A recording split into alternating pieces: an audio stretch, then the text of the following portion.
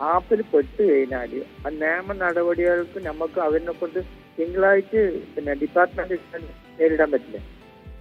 നിയമ നടപടി സ്വീകരിക്കാൻ പറ്റുമോ എന്നാണ് ചോദിക്കുന്നത് അല്ലേ?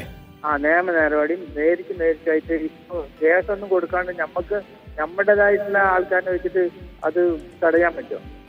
ആ ഒന്ന് പിന്നെ നമുക്ക് എന്താണ് ആദ്യം ചെയ്യേണ്ടതെന്ന് പറഞ്ഞു കഴിഞ്ഞാൽ പോലീസിൽ പരാതി കൊടുക്കുക.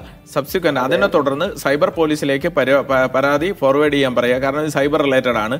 കാരണം തട്ടിപ്പ് ആഘാതം കിട്ടിയ ആൾ ആ പോലീസ് സ്റ്റേഷൻ പരിധിയിലായിരിക്കും. പക്ഷേ തട്ടിപ്പ് നടത്തിയത് ഏത് പോലീസ് സ്റ്റേഷൻ പരിധിയിലാണെന്ന് ഒരു ധാരണ നിങ്ങൾക്ക് അപ്പോൾ ഉണ്ടാകില്ല.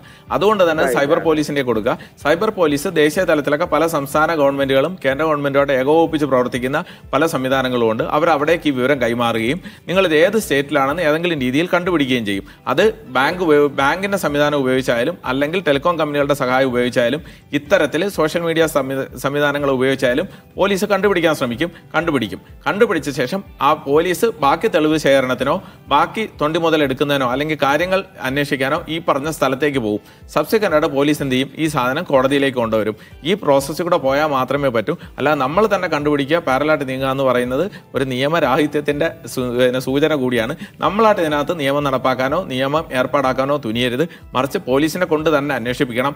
എന്നാലേ ഇതിനകത്ത് അതിന്റെ ഗൗരവം വരികയുള്ളൂ. അതാണ് അതിന്റെ കരണീയമായ മാർഗവും തീർച്ചയായും. ഇപ്പോൾ ഈ സൂചിപ്പിച്ചതുപോലെ തന്നെ പലരും പരാതിപ്പെടാൻ വേണ്ടിയിട്ട് അല്ലെങ്കിൽ നിയമപരമായി മുന്നോട്ട് പോകാൻ വേണ്ടി മടിക്കുന്ന ഒരു സാഹചര്യം ഇപ്പം നേരത്തെ സൂചിപ്പിച്ച പോലെ തന്നെ ഇത്തരത്തിലുള്ള ചിത്രങ്ങൾ നഗ്ന ചിത്രങ്ങളൊക്കെ നൽകി ഭീഷണിപ്പെടുത്തുന്ന സമയത്ത് നമ്മുടെ കുടുംബത്തിലുള്ള ആളുകളെ ഭീഷണിപ്പെടുത്തുന്ന സമയത്ത് സ്വാഭാവികമായിട്ടും അതിലേക്കൊന്നും പോവില്ല. പക്ഷേ എന്താണ് നമുക്ക് ഇതിൽ നിയമപരമായിട്ട് നമുക്ക് ചെയ്യാൻ പറ്റുന്ന കാര്യം? ഒന്നെന്ന് പറയുന്നത് നമ്മൾ ശ്രദ്ധിക്കേണ്ട കാര്യം ഈ ആപ്പ് ഇൻസ്റ്റാൾ ചെയ്യുമ്പം മൂന്ന് തരത്തിലുള്ള പെർമിഷൻ നിങ്ങൾ അറിഞ്ഞോ അറിയാതോ ഈ ആപ്പ് ഇൻസ്റ്റാൾ ചെയ്യുന്നവർ എടുക്കുന്നു വെറുതെ അതിലളിതമായി വായ്പ തരാൻ വരുന്നവരല്ല ഇവർ ഇവർ നിങ്ങളുടെ ഫോണിന്റെ കോൺടാക്ട് ലിസ്റ്റ് അഥവാ നിങ്ങൾ നമ്പർ സേവ് ചെയ്ത് വെച്ചിരിക്കുന്ന എ മുതൽ ഇസഡ് വരെയുള്ള നമ്പർ സേവ് ചെയ്ത് വെച്ചിരിക്കുന്ന കംപ്ലീറ്റ് ലിസ്റ്റ് ഒരു കോപ്പി ഇവരെടുക്കും ഈ ക്ഷുദ്ര ആപ്പുകൾ. രണ്ടാമത് നിങ്ങളുടെ ഫോൺ ഗാലറിയിൽ നിങ്ങളുമായി ബന്ധപ്പെട്ട വ്യക്തിപരമായ ചിത്രങ്ങളോ അല്ലെങ്കിൽ നിങ്ങൾ വളരെ ഇന്റിമേറ്റ് ആയിട്ടുള്ള നിങ്ങൾ കുഞ്ഞുങ്ങളുമായിട്ടുള്ളതോ നിങ്ങളുടെ പങ്കാളിയായിട്ടുള്ള ചിത്രമോ ഇതൊക്കെ നമ്മുടെ ഫോണിൽ പലതും കാണാം. നമ്മുടെ പ്രൈവസിയാണ് പക്ഷേ നിങ്ങൾ ആപ്പ് ഇൻസ്റ്റാൾ ചെയ്യുന്നതോടുകൂടി ഇവർ അറിഞ്ഞോ അറിയാതെയോ ഇവർ ഈ ഫോണിനകത്ത് നിന്ന് ഒരു കോപ്പി എടുത്ത് ഇവരുടെ ഫോൾഡറിലേക്ക് നിങ്ങളുടെ പേരിൽ ഒരു ഫോൾഡർ ഉണ്ടാക്കുകയും അതിനകത്ത് എടുത്തിടും. മൂന്നാമത് ഇവർ ചെയ്യുന്നതെന്ന് പറഞ്ഞാൽ നിങ്ങളുടെ എസ് എം എസിന്റെ കോൺടാക്ട് ലിസ്റ്റ് ഇവരെടുക്കും അതായത് ഒരു പക്ഷേ വരുന്ന ഒ ടി പി ഒക്കെ ഇവർക്ക് അറിയാൻ പറ്റിയേക്കും ഒരു പക്ഷേ. കാരണം കോൺടാക്ട് ലിസ്റ്റ് ലൈവായിട്ട് എടുക്കുന്നുണ്ടെങ്കിൽ. അപ്പോൾ അങ്ങനെ ചുരുക്കം പറഞ്ഞാൽ നിങ്ങളുടെ എസ് എം എസ് റിസ്കിലാണ് നിങ്ങളുടെ ഫോൺ ഗാലറി റിസ്ക്കിലാണ് അതോടൊപ്പം തന്നെ നിങ്ങളുടെ കോൺടാക്ട് ലിസ്റ്റും റിസ്ക്കിലാണ് ഇതിന്റെ ഒരു പകർപ്പോ ഭാഗികമായോ പൂർണമായോ ഏതെങ്കിലും രീതിയിലേക്ക് ഇവരെ കയ്യിലെത്തും. നിങ്ങൾ വായ്പ അടയ്ക്കാതായി കഴിഞ്ഞാൽ ഇവർ ചെയ്യുന്ന പരിപാടി വളരെ ലളിതമാണ്. നിങ്ങളുടെ കോൺടാക്ട് ലിസ്റ്റിനകത്തുനിന്ന് ഒരു സോഷ്യൽ എഞ്ചിനീയറിംഗ് സ്കില്ല് ഉപയോഗിച്ച് ഒന്ന് പരതും. ചുരുക്കത്തിൽ എളുപ്പമാണ്. അച്ഛനുണ്ടോ അമ്മയുണ്ടോ പേരിനകത്ത്? ഉമ്മ വാപ്പ പിന്നെ മമ്മി എന്നൊക്കെ സേവ് ചെയ്തിട്ടുണ്ടോ നോക്കും. ഡോക്ടർ എന്ന് സേവ് ചെയ്തിട്ടുണ്ടോ പ്രൊഫസർ എന്ന് സേവ് ചെയ്തിട്ടുണ്ടോ നോക്കാം. ഇതൊക്കെ നമ്മുടെ നാട്ടിലെ ബഹുമാന സൂചകമായി ഉപയോഗിക്കുന്ന വാക്കുകളാണ്. എന്നിട്ട് അല്ലെങ്കിൽ സാർ എന്ന് സേവ് ചെയ്തിട്ടുണ്ടോ നോക്കും. നിങ്ങളിപ്പോൾ ഒരു ഇപ്പോൾ ഉദാഹരണത്തിന് മീഡിയ വണ്ടി ജോലി ചെയ്യുന്ന എല്ലാവരും മീഡിയ വണ്ണം ചിലപ്പോൾ പേരിന്റെ കൊടുത്ത് സേവ് ചെയ്യും. അപ്പോൾ ഇതിൽ നിന്ന് ഗ്രൂപ്പ് ചെയ്യും. ഗ്രൂപ്പ് ചെയ്തിട്ട് എന്ത് ചെയ്യും? നിങ്ങൾ ആ പറഞ്ഞ സമയത്ത് വായ്പ തിരിച്ചടയ്ക്കുന്നില്ലെങ്കിൽ അവർ നിങ്ങളോട് തന്നെ ആദ്യം പറയും നിങ്ങളെ കൂട്ടുകാരെല്ലാം അറിയിക്കും. കൂട്ടത്തിലുള്ള സൗമ്യയെ അറിയിക്കും രഞ്ജിനെ അറിയിക്കും എന്നൊക്കെ പറയും. അപ്പോൾ സ്വാഭാവികമായിട്ടും നമുക്ക് എന്താ പറയുക നമുക്ക് തന്നെ പറയും? സൗമ്യ നെഞ്ചിനും എന്റെ സുഹൃത്തുക്കളാണല്ലോ.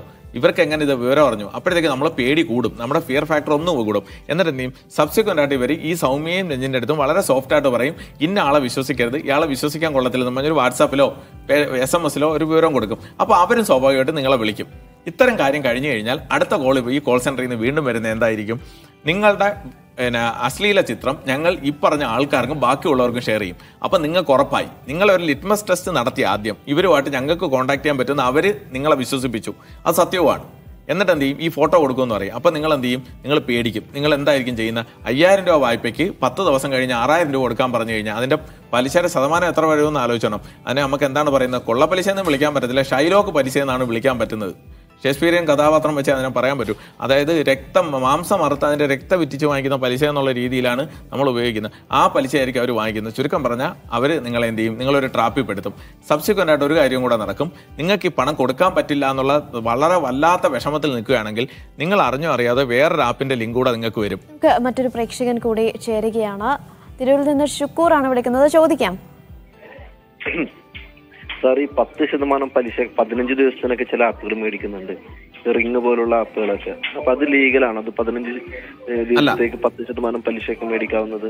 അല്ല അത് ലീഗലല്ല രാജ്യത്ത് എത്ര പലിശ വാങ്ങിക്കാം എന്നുള്ളതിന് റിസർവ് ബാങ്ക് ഓഫ് ഇന്ത്യയും സംസ്ഥാന ഗവൺമെന്റുകളും ഒക്കെ നിർദ്ദേശം പുറപ്പെടുവിക്കാറുണ്ട്. സെൻട്രൽ ബാങ്ക് പറയുന്ന ഒരു ബാങ്കിന്റെ പലിശയെക്കാളും രണ്ടോ മൂന്നോ ശതമാനം എന്ന് പറഞ്ഞാൽ പരമാവധി ഇപ്പം വാങ്ങിക്കാൻ പറ്റുന്നത് എന്താണ്? ഒരു പതിനഞ്ച് ശതമാനമാണ് പലിശയെന്ന് കൂട്ടിയാൽ ഒരു പതിനെട്ട് ശതമാനത്തിൽ കൂടുതലൊന്നും വാങ്ങിക്കാൻ ആർക്കും പറ്റത്തില്ല. അത് എത്രയാണെന്ന് ഞാൻ പറയുന്ന ശതമാനം എത്രയാണെന്ന് ചെക്ക് ചെയ്യുക. പിന്നെ വളരെ കൃത്യം അതായത് എൻ ബി എഫ് സിക്ക് വാങ്ങിക്കാവുന്ന പരമാവധി പലിശയ്ക്ക് ലിമിറ്റ് ഉണ്ട് ബാങ്കുകൾക്ക് വാങ്ങിക്കാവുന്ന പരമാവധി പലിശയ്ക്ക് ലിമിറ്റ് ഉണ്ട് അതിൽ കൂടുതൽ വാങ്ങിക്കാൻ പറ്റത്തില്ല. അപ്പോൾ രണ്ട് ദിവസത്തേക്ക് പത്ത് ശതമാനം അല്ലെങ്കിൽ ഒരു മാസത്തേക്ക് പത്ത് ശതമാനം എന്നൊക്കെ പറയുമ്പോൾ ഒരു വർഷം എത്രയായി അത് പണം ഇരട്ടി പണം തിരിച്ചു കൊടുക്കേണ്ട അവസ്ഥയിലേക്ക് എത്തും. കാരണം പലിശ എന്ന് പറയുന്നത് പല ശതമായിട്ട് കൂടിക്കൊണ്ടിരിക്കും. അപ്പോൾ അത് എന്ന് പറയുന്നത് തട്ടിപ്പാണെന്ന് നൂറ് ശതമാനം ഉറപ്പുള്ള കാര്യമാണ്. അപ്പോൾ നമുക്ക് പലിശ വാങ്ങിക്കുന്ന പലിശ പറയേണ്ടത് വർഷത്തിലായിരിക്കണം അത് നീതിപൂർവകമായിരിക്കണം അത് താങ്ങാനാവുന്നതായിരിക്കണം അഫോർഡബിൾ ആയിരിക്കണം അതായത് ഇപ്പം നിങ്ങൾ ഈ പറഞ്ഞ ഒരു മാസത്തിനകത്ത് പത്ത് ശതമാനം എന്ന് പറഞ്ഞാൽ ഒരു വർഷത്തിലേക്ക് എടുക്കുമ്പോഴത്തേക്ക് അത് പിന്നെ വാങ്ങിയ തുകയുടെ ഇരട്ടിയിലധികം തിരിച്ചു കൊടുക്കേണ്ട ഗതികേടിലേക്ക് നിങ്ങൾ വരും. അപ്പോൾ ഒരു കാരണവശാലും അങ്ങനെ പറയുന്നതൊക്കെ തട്ടിപ്പാണെന്ന് നൂറ് ശതമാനം ഉറപ്പിച്ചെടുക്കാം. അപ്പോൾ ശതമാനം പറയേണ്ടത് വർഷത്തിലാണെന്നുള്ളതാണ് മനസ്സിലാക്കേണ്ട ആദ്യത്തെ കാര്യം. അത് തട്ടിപ്പ് തന്നെയാണ്. ഇപ്പം നിങ്ങൾ ചോദിച്ച കാര്യം തട്ടിപ്പ് തന്നെയാണ് ഒരു സംശയമില്ല